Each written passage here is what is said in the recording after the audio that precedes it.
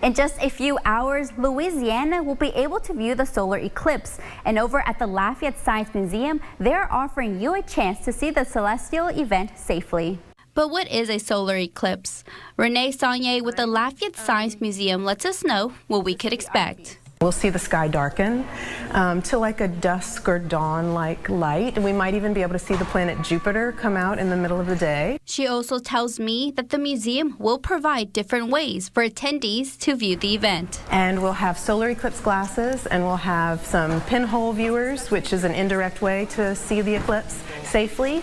Um, our telescopes have solar filters on um, the lens so that it's safe to view. I spoke with Dr. Carolyn Van, a local optometrist who tells me the risk of watching the solar eclipse without proper eye protection. There's a spot in the back of the eye called the retina. When the intense light goes in it, it could damage the cells of the retina, which could lead to blurry vision, distorted vision, and even permanent vision loss. There's even a medical term for this solar retinopathy, also known as eclipse retinopathy.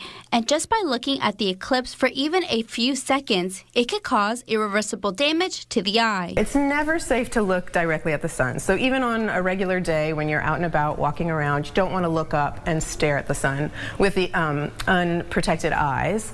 Um, so for an eclipse, people are just a little bit more likely to want to see what's going on. So you want to make sure that if you're going to view the eclipse specifically, you want to have safe certified solar eclipse glasses. The partial solar eclipse viewing will be there from 9 until 2.30 and the Science Museum will have a limited amount of eclipse glasses for safe out of this world viewing.